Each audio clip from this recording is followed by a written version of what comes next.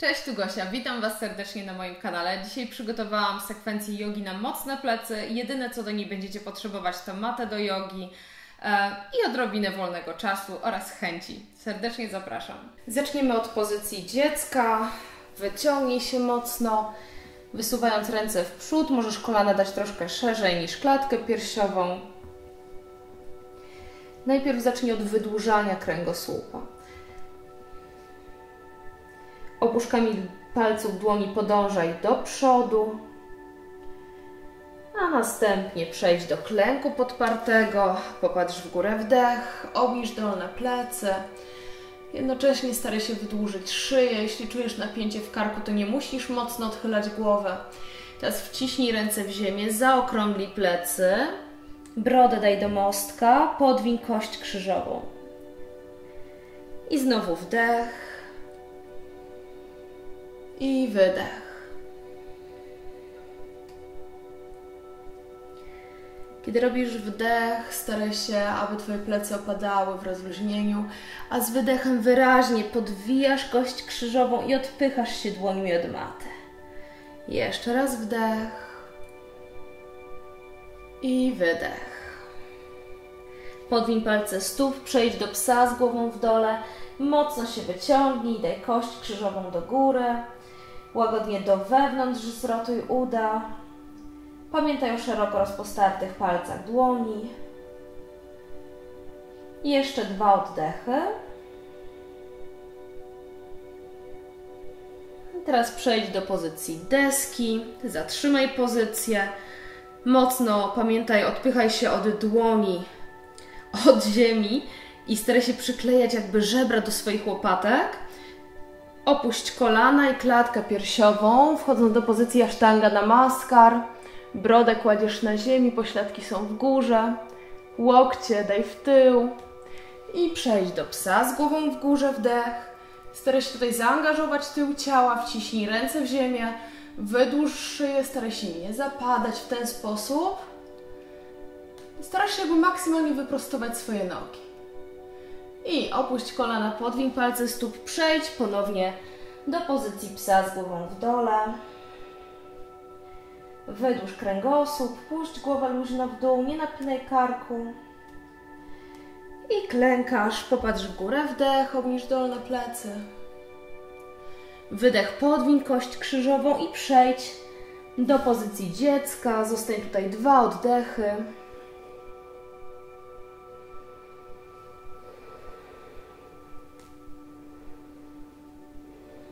Jeszcze dwukrotnie powtórzymy sekwencję. Najpierw parę kocich grzbietów, wdech i wydech.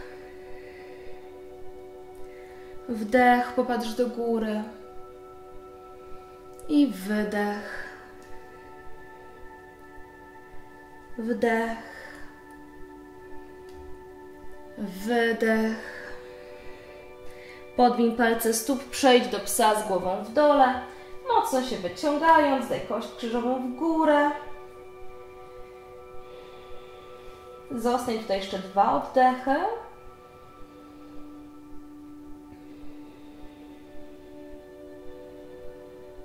A następnie przejdź do pozycji deski, przytrzymaj ją chwilkę. I teraz pamiętaj, żeby barki były daleko od uszu, staraj się nie zaciskać karku. Opuszczamy kolana. Łokcie idą w tył, blisko przy klatce piersiowej, powoli opuszczasz klatkę piersiową, pośladki są w górze, barki oddal od uszu. I pies z głową w górę, wdech, aktywny tył ciała. Staraj się też nie zaciskać zbyt mocno pośladków, tak żeby nie zaciskać przejścia lędźwiowo-krzyżowego. Mostek unieść w górę. I odkładamy kolana, podwiemy palce stóp Pies z głową w dole.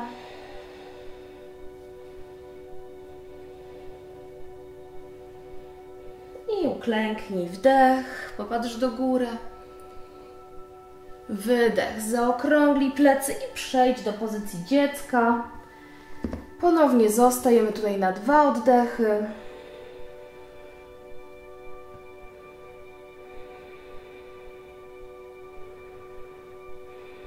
I powtórzymy teraz sekwencję już ostatni raz. Wdech, popatrz do góry. Wydech, podwiń kość krzyżową. Wdech i wydech. Wdech, popatrz do góry. Wydech mocno zaokrąglij plecy, palce stóp zadarte, wejdź do psa z głową w dole i wyciągnij się, zostań pięć oddechów. Tutaj myśl o przede wszystkim wydłużaniu kręgosłupa, o stwarzaniu przestrzeni.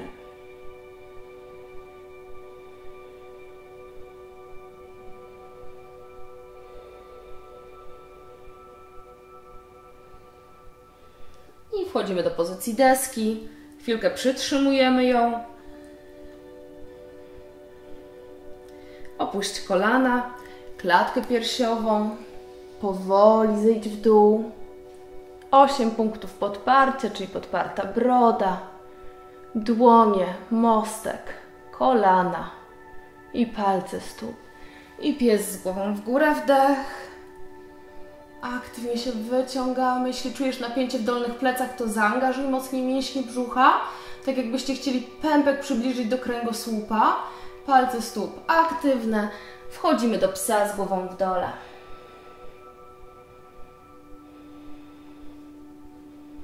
Jeszcze dwa oddechy.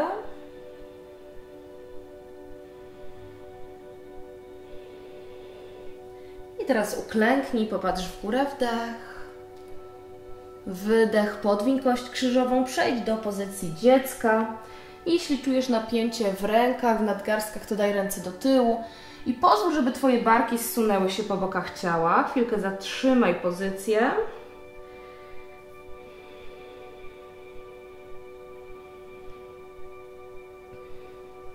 I powolutku podnieś się do góry.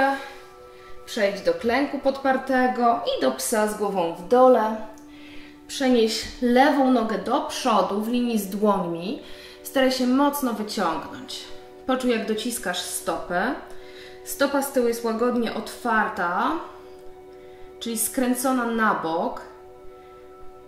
Starasz się nie krzyżować pięt. Pięty są na szerokości bioder i teraz mocno angażujemy mięśnie nóg. Staramy się jak najbardziej przycisnąć mięśnie ud do kości udowych i wyciągamy mocno ręce do przodu. Daleko w przód. Jeszcze się wyciągnij, przytrzymaj pozycję. Poczuj, że pracują zarówno mięśnie nóg, jak i mięśnie grzbietu. Jeśli czujesz napięcie w karku, być może zbyt mocno wysuwasz ręce, wtedy lekko je cofnij. I wydech. Przejdź do psa z głową w dole, zamień ułożenie nóg. Prawą nogę daj teraz do przodu. Chwilę zatrzymaj pozycję. Jeśli masz taki problem, że Twoje nogi się nie prostują, one są zgięte, to tym się nie przejmuj. Raczej myśl o swoim kręgosłupie, o jego wydłużeniu. I ponownie wyciągamy ręce obie do przodu. Wzrok jest skierowany na matę i mocno ciągniemy rękami do przodu. Staraj się przyklejać pępek do kręgosłupa przez cały czas. Jeszcze dwa oddechy. I wydech ręce daj na ziemię. Przejdź do psa. Następnie uklęknij, popatrz w górę, wdech. Wydech, zaokrąglij plecy i wejdź do pozycji dziecka. Odpocznij, zostając tutaj dwa oddechy.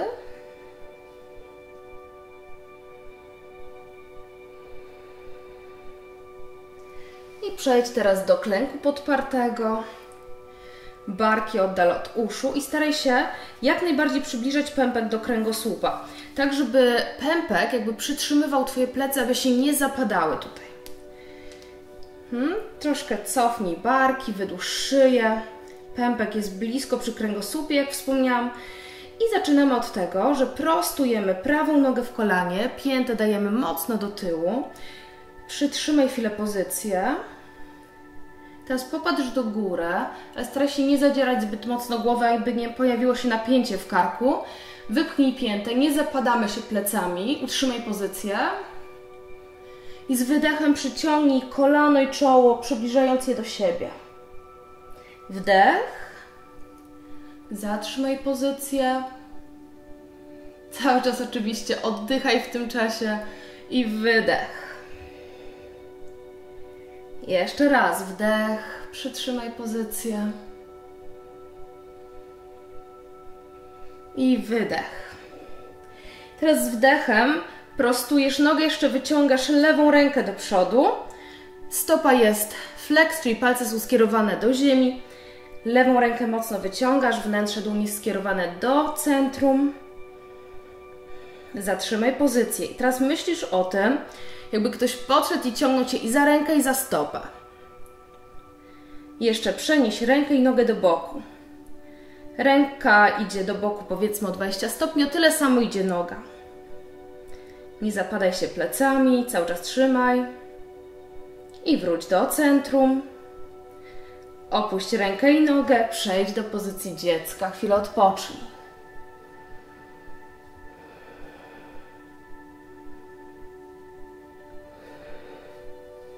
Ponownie przechodzimy do klęku podpartego. Aktywizujemy całą pozycję. Pamiętajcie, żeby plecy się nie zapadały. Wciskamy jakby żebra w łopatki, tak jakbyśmy się chcieli odepchnąć od ziemi i przykleić klatkę piersiową i łopatki do siebie. Teraz lewa noga, wyprostuj ją, wypchnij mocno piętę w tył. Trzymamy pozycję cały czas aktywnie. Nie zapominaj o oddechu. Niech oddech przepływa cały czas przez Twoje ciało. Jeżeli wstrzymujesz oddech, to niestety napinasz swoje ciało i blokujesz możliwość tego aktywnego napięcia i rozluźniania. Teraz lekko odchylamy głowę. Tu mamy wdech i z wydechem czoło i kolano do siebie się przybliżają. Wdech, chwilę zatrzymaj. I wydech. Jeszcze raz wdech, chwilę przytrzymujemy pozycję. I wydech. I teraz jednocześnie prostujesz nogę, podnosisz prawą rękę do góry, stopa aktywnie wypchnięta i zatrzymaj pozycję, spokojnie oddychaj. Nie puszczaj dolnych pleców.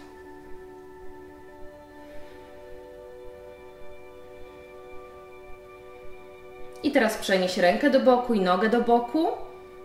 Jeszcze chwilę przytrzymaj.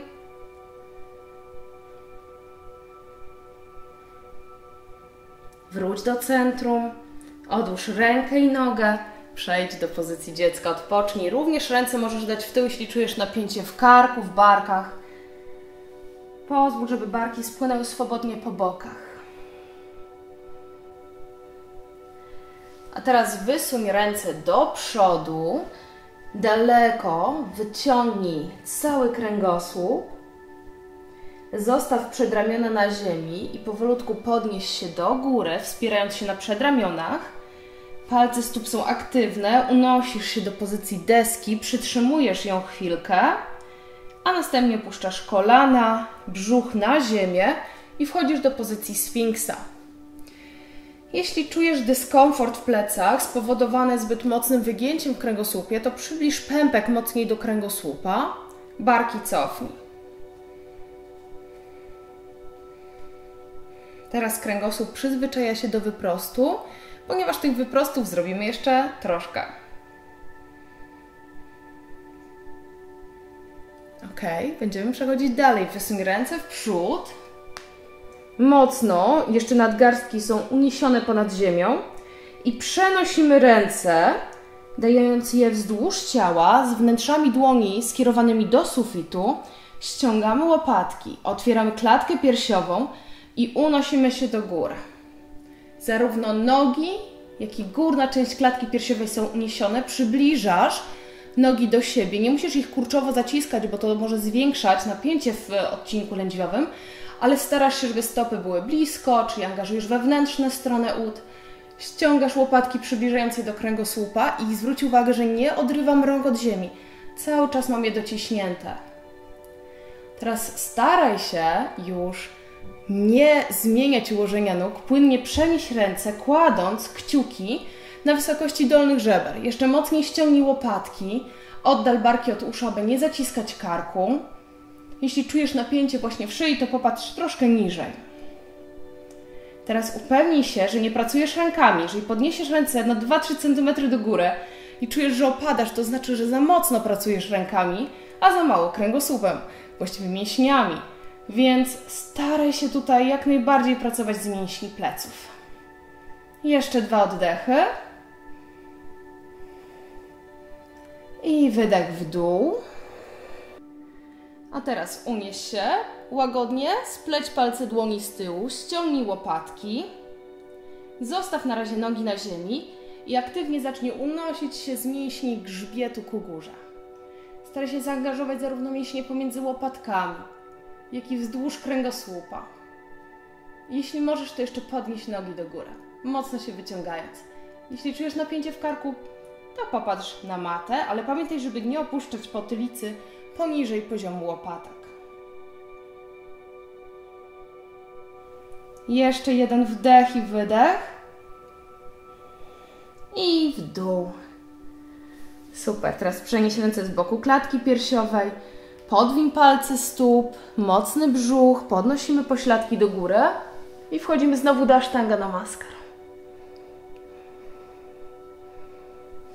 Dociśnij ręce do ziemi, odepchnij się z palców stóp, wejdź do psa z głową w górze, z zadartymi palcami stóp i do psa z głową w dole. Teraz zostaj chwilkę w pozycji psa z głową w dole, puszczając głowę luźno.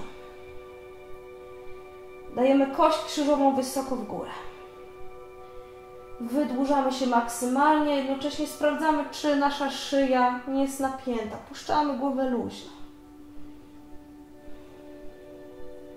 Teraz uklęknij i zaokrąglij mocno plecy. Brodę daj do mostka. I przejdź do pozycji dziecka.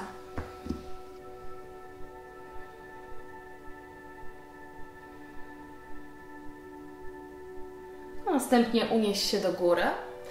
I po takiej dużej ilości wyprostów, po takim wzmacnianiu, warto jest wykonać parę skrętów. Zacznijmy może od takiego łagodnego, w którym podpierasz się i zakładasz kostkę prawej nogi nad kolano lewe, wyciągasz mostek do góry i łagodnie się skręcasz, kładąc raz kolano, raz stopę na ziemi.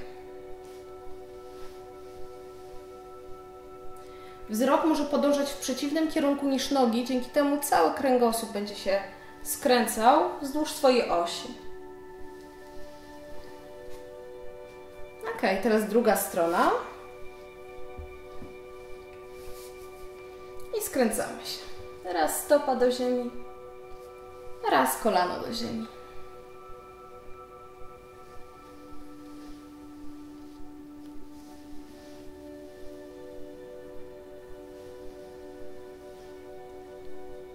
Powoli wróć do centrum. Zostań z kolanami łagodnie ugiętymi, złap za kolana. Weź wdech, wydłuż kręgosłup. I z wydechem podwiń kość krzyżową i zaokrąglij plecy. Wdech i wydech. Jeszcze raz wdech i wydech. Z wydechem unieś się do góry. Kolejny skręt, który nas troszkę rozluźni. Zostaw wydłużone plecy. Uchwyć lewą ręką za zewnętrzną krawędź prawej stopy. Wyprostuj nogę. Teraz postaraj się skręcić jak najbardziej z części piersiowej kręgosłupa, ale zostają na macie tak jak są. Popatrz za prawą ręką, za prawym barkiem stopa jest aktywna, tak aby ręka nie musiała utrzymywać nogi, im mocniej ją wypchniesz do góry, tym mocniej zaangażujesz mięśnie nogi i jeśli czujesz, że możesz jeszcze unieść rękę prawą, to zrób to. Druga noga, czyli lewa stopa jest flex. Wyciągaj się mocno do góry.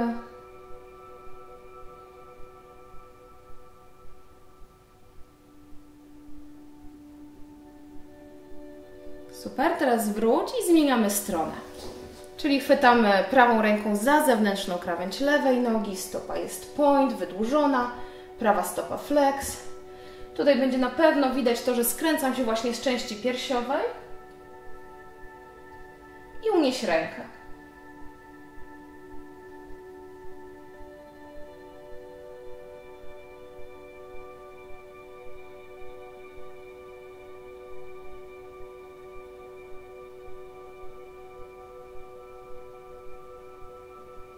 Wróć do centrum. I teraz jeszcze na sam koniec rozluźnimy sobie plecy w leżeniu. Połóż się i przemasuj kręgosłup. Dociskasz sobie kolana do siebie, od siebie. Możesz również poskręcać kolana na boki. I też staraj się zbyt mocno tutaj nie puszczać kolan w dół, jeśli poczujesz napięcie w plecach.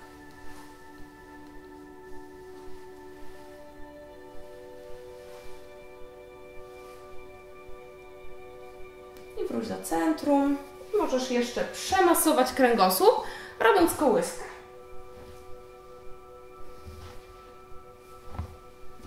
I za kolejnym razem usiądź. No i to wszystko. Słuchajcie, to była taka sekwencja, która możecie ją wpleść w swoją normalną praktykę, albo możecie ją robić osobno. Także dowoli, jak czujecie, że ta sekwencja będzie Wam służyć.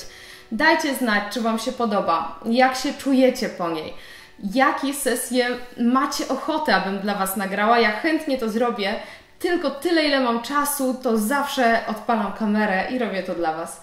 Dziękuję Wam bardzo. Zajrzyjcie na moją stronę anatomiajogi.pl. Tam znajdziecie informacje o warsztatach, które prowadzę.